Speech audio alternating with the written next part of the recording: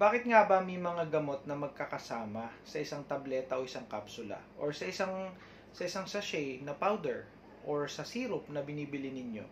Maaaring kayo ay nakakakita na reseta sa inyo ng inyong mga doktor na uh, iba sa inyong paningin, iba sa inyong uh, nakasanayan na na reseta na nag-iisa lamang at hindi ito magkasama.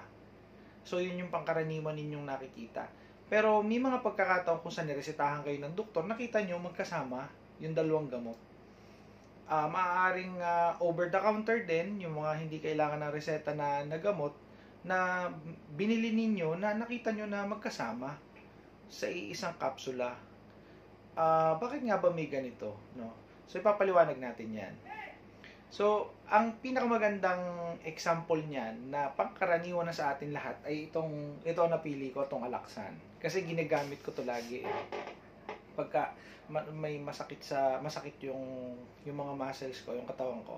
So, ito yung ginagamit ko. So, ito yung uh, good example ko ng uh, ng gamot na magkasama. Okay? So, magkasama siya sa isang uh, capsule. Okay? Uh, ibuprofen at saka paracetamol. Alam niyo may may mga brand ng ibuprofen na ibuprofen lang. Kagaya ng medical, ibuprofen lang 'yan. Available yan sa 200 mg na na tablet or or or capsule whatever is available sa sa butika and then available din siya sa 400 mg. Yun yung mas malakas, no? Meron din brand na Advil. So, ibuprofen din yan. So, mapapansin niyo yung mga gamot na yon na nabanggit ko, nag-iisa lang sila. ba? Meron din naman, when it comes to paracetamol, punta tayo dito, may sari, meron ding paracetamol na uh, solo lang, kagaya ng Biogesic. Solo lang yan na paracetamol. Tempra, solo lang yan na paracetamol, di ba? Ngayon dito, mapapansin nyo, pinagsama na sa isa. So bakit may mga ganong pangyayari? Bakit nag, uh, naglabas ang mga pharmaceutical company, mga uh, kagaya ng Unilab, naglabas ng ganito? Matagal nang nangyayari ito. Sa kadahilan ng may mga gamot na pag pinagsama ninyo ay mas malakas ang epekto. Halimbawa, magaling ang ibuprofen magtanggal ng sakit ng ulo. Magaling ang paracetamol magtanggal ng lagnat pero, pagka meron kang lagnat at meron kang sakit ng ulo, magkasama ng, ng sintomas na nararamdaman mo, pagka ang tinake mo lamang halimbawa ay paracetamol, ang mangyayari niyan is hindi gaanong ka ka ganda ng uh, ng epekto nito. Maaaring ito'y mabagal, maaaring ito ay hindi hindi masyadong nalulunasan ng sakit ng iyong katawan. Okay? Or hindi nalulunasan yung yung nararamdaman mong sakit ng ulo. Ngunit pag pinag pag nilagyan mo ng ibuprofen, mas maganda. Kasi nangyayari niyan, yung yung kapangyarihan ng paracetamol na magtanggal o magpababa ng lagnat at mag, magtanggal ng sakit ng ng ulo at ng katawan ay nad, halos ay nadodoble or nai-enhance yung kanyang uh, kakayanan.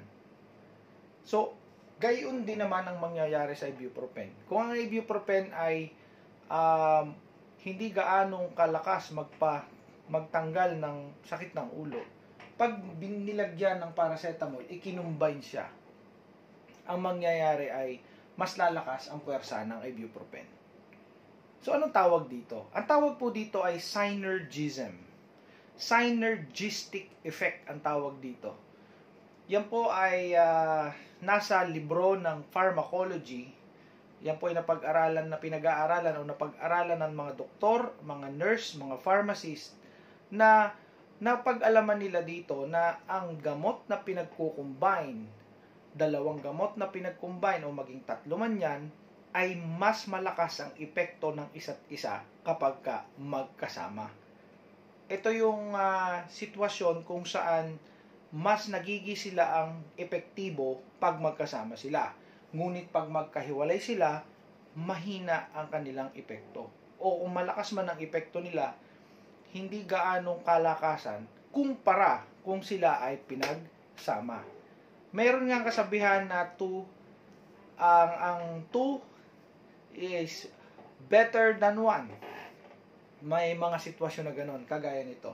Pero hindi po lahat. Bakit? Kasi merong mga gamot na pag pinagsama ninyo ay nagiging lason. Pag pinagsama ninyo ay nagiging uh, nagkakameron ng negatibong epekto sa katawan. Ang tawag po doon ay drug-to-drug interaction. May reaksyon ang bawat isa na masama pag pinagsama sa isang kapsula o sa isang tableta. Yun ang dahilan kung bakit hindi basta-basta pinagsasama ang dalawang gamot. Ito ay dahil sa hindi lahat ng gamot ay compatible sa isa't isa. Meron po tayong tinatawag na drug to drug compatibility. Hindi yan ay paarang langis at tubig. Parang ganyan ang example na ang nangyayari.